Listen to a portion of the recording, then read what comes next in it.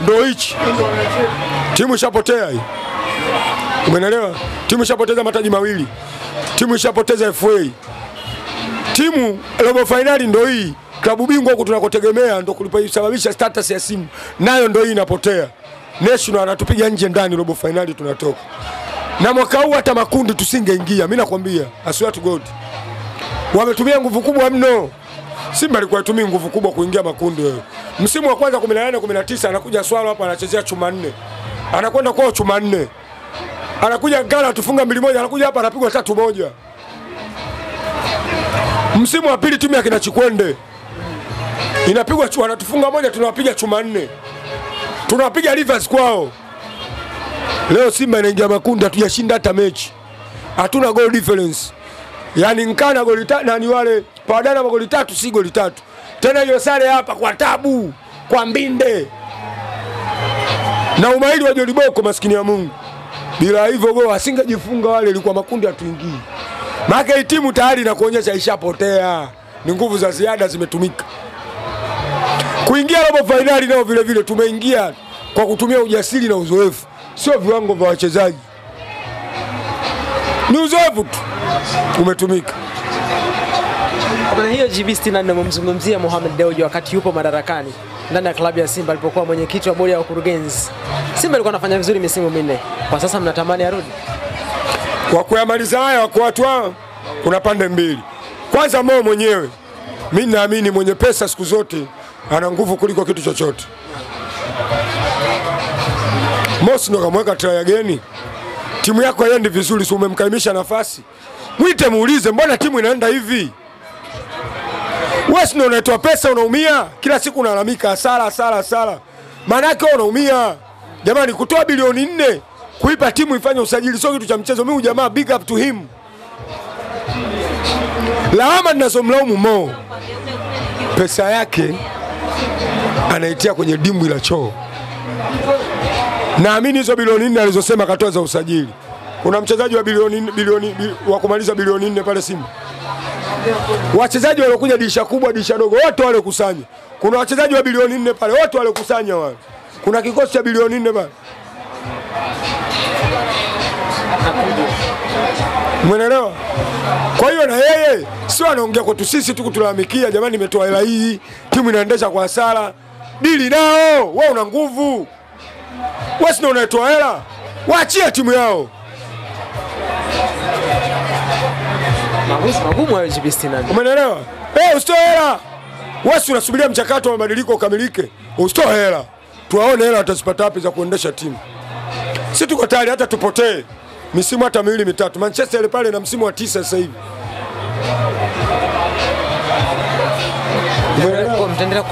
Lakini unapoendelea kuwapa hela ndo unazidi kuwatia kiburi na nguvu. Wacha watumie hizi hela zao za mikataba yao, na hii mikataba itaenda mwishoni, itagota. Hakuna mdhamini atakayeweka hela. Sunderland unafikiri atakubali hivi? Unatengeneza jezi uuzi, mashabiki wote tuwe na kitu kimoja, hakuna kununua jezi ya Simba, hakuna kununua kitu yoyote ya Simba.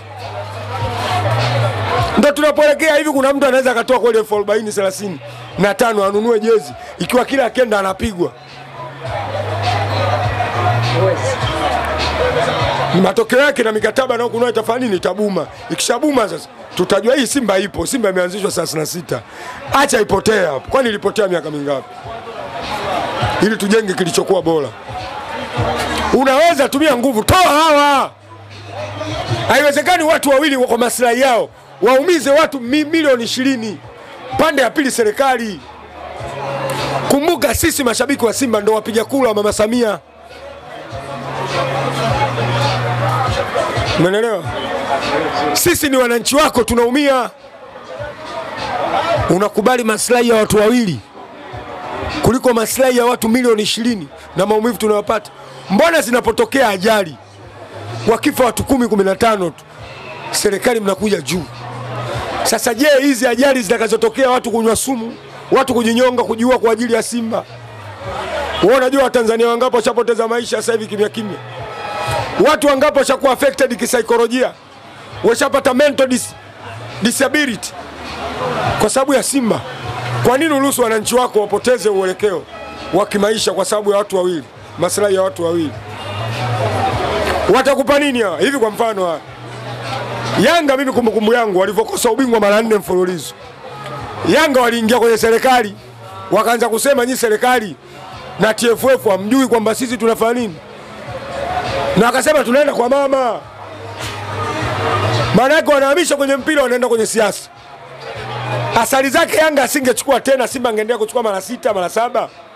Yanga wangetoka kwenye siasa, wangesema kwamba bwana, sisemu sio chama kizuri, kinasababisha sisi tunafanya nini, tunaonewa. Wewe ndio mzazi? Mtoto anapoonewa anakimbilia kwa baba. Ndio maana Yanga walipotaka kuonewa walikimbilia kwako, walikutaja mama mama. Matokeo yake Yanga wamefanya maboresho hii hapo, uliwaita ukafanya nini, ukafanya nini, watu wakakaa sawa. Na sisi Simba hivyo hivyo, sio lazima watoke. Unapowaita au ukawapa kauli nzito, hawa watajirekebisha.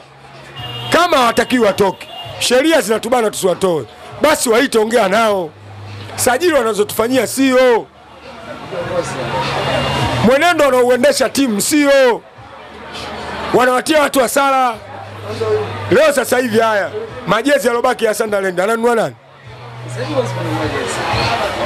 Sushamtia shoti, tungeenda nusu, jezi ngapi zingenunuliwa kuelekea kwenye nusu fainali, Zingetengenezwa na nyingine za na zingine zingetengenezwa na nusu fainali.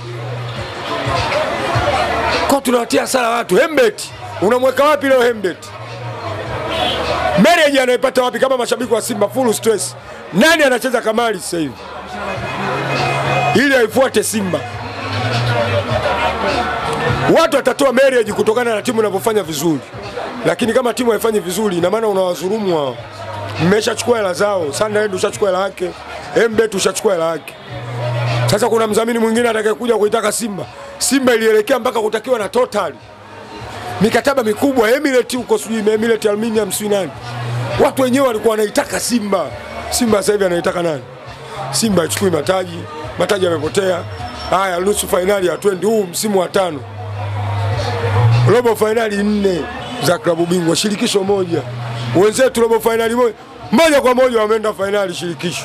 Angala Yanga alivyopanda status. Yanga sasa hivi waongeaji wao, mashabiki wao watumii nguvu kubishana mtu wa Simba, inajieleza misimu miwili wamekusanya pointi chungu mzima, tayari tumebakisha si pointi tano si sita si saba na jana kama wasingezulumiwa walikuwa wanatuacha sisi, tunatolewa wao wanaenda. Ina maana tayari African Football League alikuwa acheze Yanga, si inacheza timu ambayo yenye haya kwenye renki East Africa, ingekuwa Yanga ndo ya kwanza. Tushukuru Mungu tumetolewa wote, yaani tumshukuru yule refari. Yule refari atakiwa ashukuriwe na Mamelodi, hata Simba. Ina maana hata African Football League tusingecheza, wana Simba tuamke. Ina maana mwakani sasa tukifanya masiara mwakani tukiendelea hivi hivi, Yanga anatuacha. Hii timu inapoelekea hata makundi hatutakuja kuingia, Simba hii hata kushiriki klabu bingwa atakuwa tabu. Azam mwaka huu ana moto, hata kwenye hii ligi timu ikirudi, tukifanya masiara labda itumike nguvu za ziada, tunaweza tukaenda shirikisho. Lakini watu wa Simba ukiwaambia, wakiitwa kwenye mkutano, wakishakula kula mabiliani si manini, wanaongopewa ongopewa. Wewe angalia hii mechi tumepigwa hapa na National Rally. Umeona propaganda iliyoenda kutengenezwa Egypt, tumeletwa Mayele. Mayele anaojiwa kwenye kambi ya Simba sijui nini, watusaulishe. Yani mshafungwa kule, tusahau na hata tukitolewa huku tujue Mayele anakuja. Washajua washakosea kwenye mafuadi, ndo tunaonyeshwa Mayele. Ile ni propaganda. Tulionyeshwa Manzuki kwenye uchaguzi, alikuja. Tutumie akili ili tuikomboe Simba instead of otherwise, hakuna yoyote ataikomboa Simba isipokuwa ni mwana Simba mwenyewe. Timu inaangamia. Ile ni propaganda kwamba ah, tumetolewa lakini Maele anakuja, mafuadi hamna lakini Maele anakuja. Mzee wa hivi sasa wewe ukienda na ile propaganda yao kimya, unasubiria usajili Mayele, mwisho wa siku hamna kitu, kama Manzuki.